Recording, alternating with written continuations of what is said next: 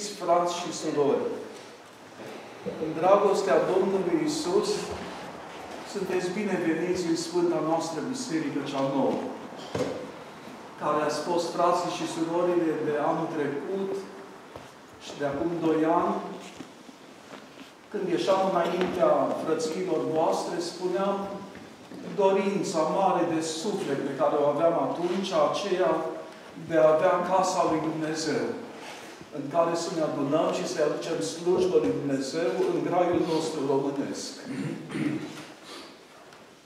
Anul trecut chiar unii frați ar fi dorit ca să vină să facem adunare unde slujam atunci. M-am simțit foarte umilit în sufletul meu că n-am putut să răspund atunci, pentru că condițiile de acolo n-ar fi permis condițiile și ca și clădire, dar și ca și condiții impuse de proprietarul locului respectiv unde șapte ani de, an, șapte ani de zile am slujit. Și atunci, deci după doi ani în care mai mult sau mai puțin făceam această dorință înaintea Domnului Isus pentru Sfânta Lui casă, dorul cel mare al inimii mele, de 36 de ani de pribegie. Casa lui Dumnezeu românească, unde se poate sluji în dulcele nostru grai românesc și unde mândrul nostru tricolor să nu mai fie cu chirie și batjocorit, ci la loc de cinste, în altar, în Sfânta Evanghelie și sub icoanele împărătești sub care, la care venim ca să ne închinăm. Deci această mare dorință s-a împlinit de la Bunul Dumnezeu anul acesta, când la 25 martie, de Buna Vestire, adică și care este și șcramul principal al parohiei noastre, am intrat în această clădire, fostă o fabrică de răpânată și într-o condiție deplorabilă, deci era frică ca să te apropii de ea, dar care cu multă jertfă și aici aș vrea ca să punctez numai puțin, cu multă jertfă și vă veți fi surprinși. Ajutați doar de Bunul Dumnezeu și de propria noastră jertfă a enoriașilor acestei parohii, care nu este mare. Vorbim de o 200 de familii, mai mult sau mai puțin. În parohia aceasta s-au găsit și spre uimirea mea, ca preot paroc, s-au găsit toți cei care trebuiau să pună meșteșugul lor în slujba Domnului. Și zidar, și pietrar, și tencuitor, și electrician, și mecanici, de tot ce a trebuit, ce a fost de nevoie. Și toate au venit la rândul lor într-un fel. Și toată lucrarea de aici s-a făcut benevol pentru Domnul. Poate aici e frumusețea frumuseților. Că poporul lui Dumnezeu a zidit Biserica lui Dumnezeu cu mâinile lor. Vă pot, aș, aș putea să stau aici ceasuri întregi, dar mă să mă, mă țin foarte pe, foarte pe scurt. Nu ne-am putut permite să aducem înăuntru buldozere și câte macarale și câte ar fi trebuit, că a trebuit demontată bucățică cu bucățică după legislația irlandeză care este în vigoare, ca să poată să fie așa cum este acum. Nu a fost neapărat alegerea noastră, însă mi s-au impus legi foarte stricte drugii de aici, de la, dintre ferestrele acestea, erau ferestre de fabrică, dărăpânate și scoase afară de fapt. Nu mai erau mai niște rame vechi. Au fost niște drugi masivi.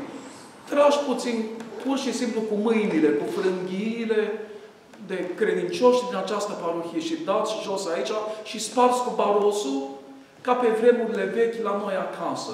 Deci, cu ruptul, așa s-a lucrat aici în condiții fără prea mare, sigur, cu atenție multă, însă vreau, fără a avea ceea ce ar fi trebuit după legislație, toată, toată îmbrăcămintea de protecție și tot ceea ce ține de, de acest capitol. Neapărat însă Bunul Dumnezeu. Deci așa s-a lucrat aici de credincioșii noștri când li s-a permis, când au putut au făcut cum s-a putut. Și așa s-a pus jertfa asta împreună și s-a făcut această casă a lui Dumnezeu. Acest sfânt altar, bineînțeles, acesta a fost zidit din nou din temelie și cu bolta lui din cărămidă.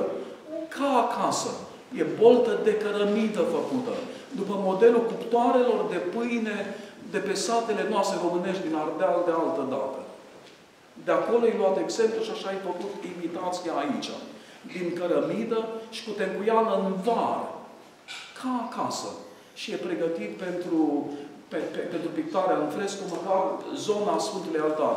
Periți lateral neputându-se, aceștia sunt cu tehnica modernă de acum, făcuți în felul în care nu ar lua pictura pe ei decât pânză aplicată. Însă Sfântul Altar e zidit tot, cum am zis, prin jertfă și intuiție și rugăciune românească. În timp ce se zidea acolo, candelele ardeau și fumul de tămâie se înălța în continuu. Și mai vă spun ceva. Toată absida altarului este zidită în aghiasmă. S-a sfințit cantități mari de aghiasmă în biserică. Eu stăteam cu epitrafirul și cu psaltirea și se zidea altarul. În aghiasmă scălda tot. Și se, se simte, răsuflă respiră Sfântul Altar, absida altarului, Sfințenia Ghesmei, în care este zidit acest Sfânt Altar. Deci aceasta este, aceasta este lucrarea. Cum s-a ajuns aici? Sigur că mai întâi de toate s-a zidit biserica cea vie. Dacă nu era biserică vie, zidită mai înainte, nu se ajungea nici la biserica de zi, casa Domnului în care biserica cea vie se adună la închinare. Deci aceea a durat mai mult, mai mulți ani decât biserica de zi, de fapt. Dar am aceasta la, în vremea, în toamna vieții mele, această bucurie în sufletul meu înaintea lui Dumnezeu, că s-a reușit ca biserica cea vie, credincioși înșiși, să zidească biserica, neaducă nicio companie din afară ca să facă nimica. Deci tot ceea ce ține de Sfânta Biserică a fost zidit benevol pentru Domnul de oameni credincioși. Iar ceilalți care n-au pus contribuția fizică au, au jertfit material, financiar, ca să se poată zidi această Sfântă Biserică și să poată o suporta ca să plătim ratele la bancă, care sunt destul de usturătoare și asta o perioadă de 8 ani de zile. Deci aici s-a ajuns. Și atunci, dat fiind multele discuții din, din, de acasă, din țară, din media românească, care ia în discuție până și zidirea Catedralei Mântuirii Neamului, ar fi biserica reprezentativă a neamului nostru românesc, și pentru noi cei ce suntem în afară, cei din țară, dar și pentru străinii care vin în țară. Așa cum aici în Dublin, de exemplu, străinii care vin, vizitează, în primul rând, sunt două catedrale, ambele protestante, deși țara este romano-catolică, fiind, așa au fost împrejurările în vremea respectivă. Toată lumea acolo merge. Sunt, unii, sunt instituțiile sau lăcașurile care reprezintă această țară înaintea lumii. Noi românii nu am avut și nu avem un astfel de, de monument, deși este o, o țară ortodoxă și pe care o numim și Grădina Maicii Domnului. Și toate acestea, și media vine și împroaștă cu noi în, în, în cel mai frumos vis al unui, al unui neam, a unui oameni, oameni credincioși, din generație în generație, începând de la familia regală română până la ultimul țăran de pe brazdă. Ei bine, și atunci și eu am zis, Doamne, poate se pune întrebarea atunci, de ce să facem biserică? Că sunt multe nevoi, câte griji, câte, câte drame de familii nu sunt în mijlocul nostru, câte case de spitale, câte cerere de ajutor din țară și cei care mor aici, de exemplu, venind la lucru, în accidente, trebuie dușați acasă și n-au bani ca să-și înmormânteze morții. Câte nu sunt? Și acea, Doamne, zic, oare Oare ce facem? E bine că noi ne concentrăm ca să zidim casa Domnului când e atâta jale și pacoste de jur împrejurul nostru. Și atunci, după cuvântul din Pateric, a unui Sfânt Părinte care a zis că ceea ce facem, să facem, să avem dovada sau mărturia din Scripturi, tot așa și eu am pornit-o într-un fel cu baza aceasta din Scriptură. din Scriptură, un loc care mi-e foarte drag, e cuvântul pe care apostolii îl pun în caracterizarea însă și a Domnului nostru Isus.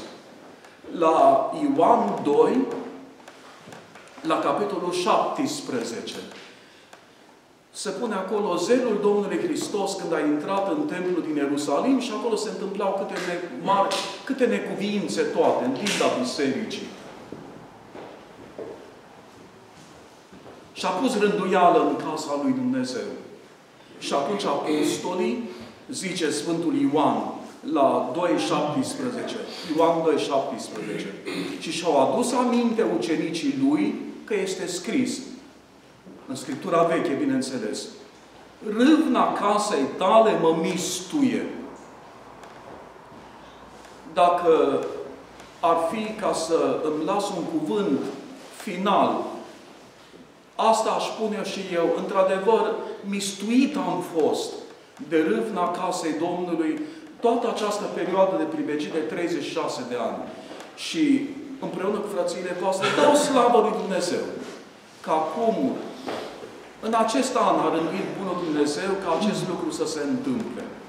După aceea, altă mărturie o găsim la, la Psalmul 131, când zice Adu-ți aminte, Doamne, de David și de toate blândețele lui. Cum s-a jurat Domnului și a făgăduit Dumnezeului lui Iacov. Nu voi intra în lăcașul casei mele. Nu mă voi sui pe patul meu de odihnă. Până voi da, nu voi da somn ochilor mei și genelor mele dormitare, dormitare și odihnă tâmplelor mele.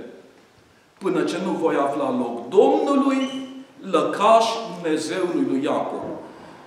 Și continuă mai departe în versul 7, vom intra în lăcașurile Lui, închina ne vom la locul unde au stat picioarele Lui. Cuvântul lui David și un alt cuvânt care mi-e foarte drag de la Paralipomena. 2, versetele, 1, versetele 6, capitolul 6, versetele 1 și 2. Atunci Solomon a zis, Domnul a spus, că el binevoiește să locuiască în negură. E o formă a noastră a zice, noi, cum să exprimi tainele lui Dumnezeu? Întuneric, negură, lumina, cea mai presus de lumină, răsăritul cel fără de apus, toate sunt adevărate. Deci de asta pune Scriptura, care e nevoie să locuiască în negură. Și atunci vine Solomon și zice, iar eu am zidit templu ca să locuiești tu cel sfânt și lăcaș unde să petreci tu în veci. Aici este chiar taina casei lui Dumnezeu ca și lăcaș de închinare. Acolo unde locuiește cel prea înalt și unde este cel prea înalt de prea sfânta trăime și Tatăl, și Fiul, și Sfântul Duh. Acolo sunt Sfinții Îngeri, acolo este tot corul ceresc al Sfinților Apostoli, al Sfinților Mărturisitori, al Sfinților Români, al Sfântului nostru ocrotitor, Sfântul Andrei și Șaguna, împreună cu toți Sfinții. Și atunci, dacă avem mărturia aceasta, sigur că mare este această bucurie și împlinire, iar eu sunt foarte recunoscător Bunului Dumnezeu că în seara aceasta, deci în primul an, după, la câteva luni, după intrarea noastră aici în, în biserica cea nouă, care își așteaptă ziua nunții, adică ziua târnosirii, care o va rândui în al preasfințitul nostru mitropolit Iosif. Încă nu s-a stabilit când va fi această dată, sperăm că va fi legată de centenar anul viitor. Ei bine, faptul că la câteva luni bune după ce am reușit, după ce Sfântul Andrei Șagun a fost cinstit în mod deosebit aici, în această Sfântă Biserică, cu priveghere de noapte, cu slujbă de noapte și cu lume la închinare, ca și la Sibiu. pentru cinstea cea mare a Marelui Șaguna. Aici ar fi un alt capitol de deschis. Venit de la Sibiu, cel care n-a avut biserică în Sibiu, nu i s-a permis să aibă la cei care eram în pribecie și nu aveam. Și acum se bucură împreună cu noi, Marele Șaguna, care se odihnește pe Sfântul Altar în cinste supremă, aici în mijlocul nostru. Zic, e o bucurie mare că sunteți frățiile voastre, iubiți frați, iubite surori, ca să fim împreună, să dăm mărturie lui Dumnezeu și să-i mulțumim lui Dumnezeu pentru bucuria care ne-a rânduit-o. Este bucuria aceasta că suntem împreună în casa lui Dumnezeu, dar este și o bucurie mare ca în adunare să fie ierarhul nostru. Așa mi-a trecut prin minte. Vor fi fost momentele de rai dintr-un început a Părintelui nostru Iosif împreună cu Marele Mitropolit de la Sibiu Nicolae Bălan, la începuturile începuturilor oastei Domnului.